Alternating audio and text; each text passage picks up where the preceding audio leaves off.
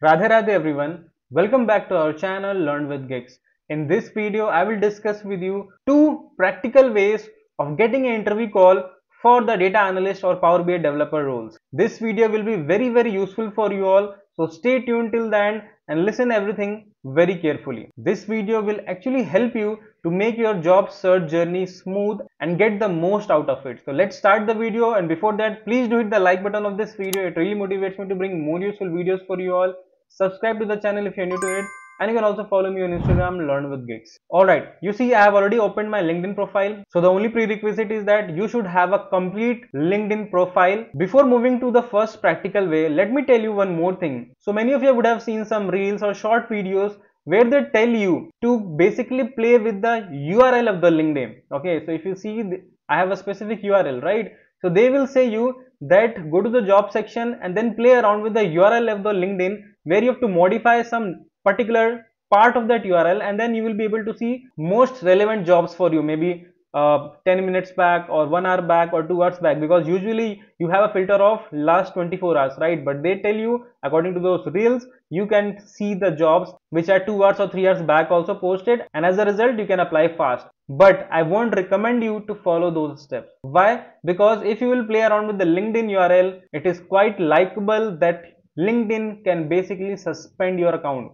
So conclusion is that don't play around with the LinkedIn URL or don't try to integrate your LinkedIn URL with some other third party websites. I hope that point is clear to everyone. Alright, let's start with the first practical way. So what you have to do, come to your profile, click on this search option and then search hiring data analyst.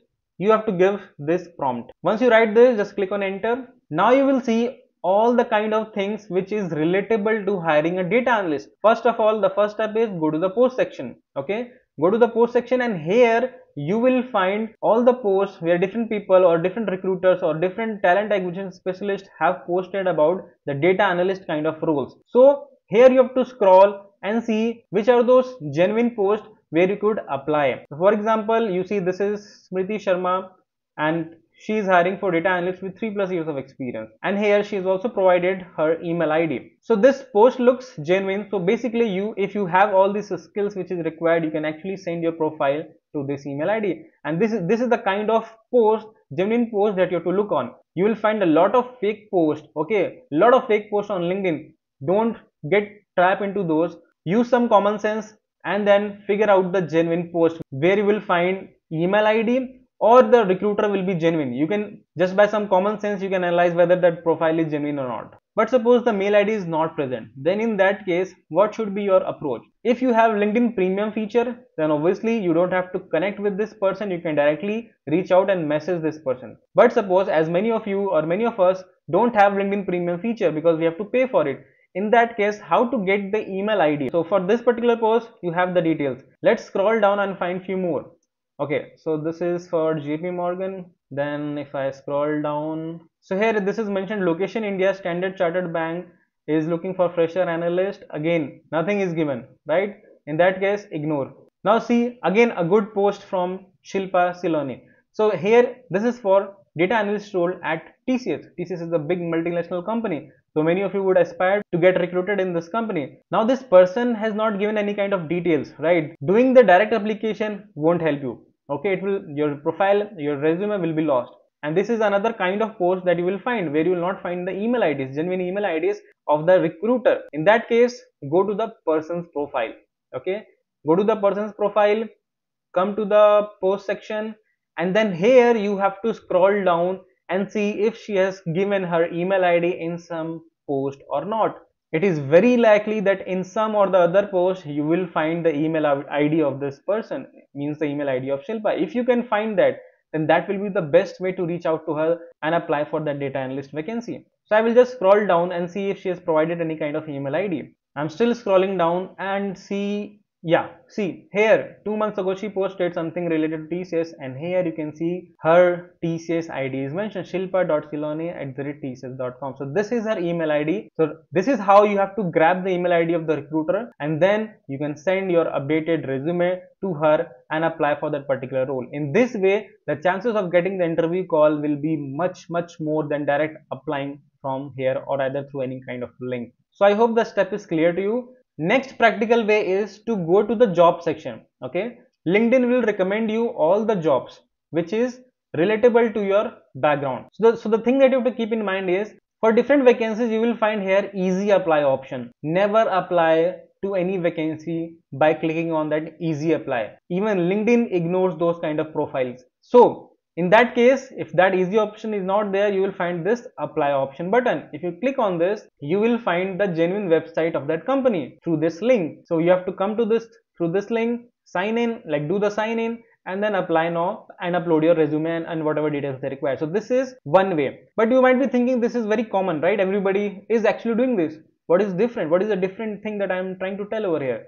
The different thing that that I wanted to tell over here is you have to have two resumes for the same vacancy. For example, if this is your resume and if you have provided some kind of Gmail ID and phone number, then use this particular resume to apply to apply on this website. The second resume, in the second resume, what you have to do, you have to change your mobile number as well as your Gmail ID. Email ID and mobile number should be different in your second resume and what you have to do with that second resume let me tell you that. So the motive behind is that for the same vacancy you should apply in two different ways. One is through this website which is a job which is a normal general application. And the second one way is where you have already changed your mobile number and email id make sure that email id the new email id and the new mobile number that you are using in your second resume for the same vacancy should not be related in any form to that first mobile number and email id make sure you it should not be there in your recovery email address also.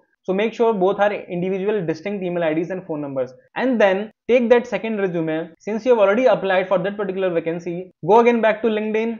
And then for the same vacancy, go to the company's page, go to people working in that company and here you will find if you scroll down, you will find these many people working in that particular company. Now you have to connect to at least 15 people working in this company. And then suppose out of 15 people, 5 people uh, accepted your connection request. Now you have to do what you have to do is you have to send them a referral request for the same vacancy. Now many of you might be thinking what is the referral template that we should follow to reach out to people if this is the case?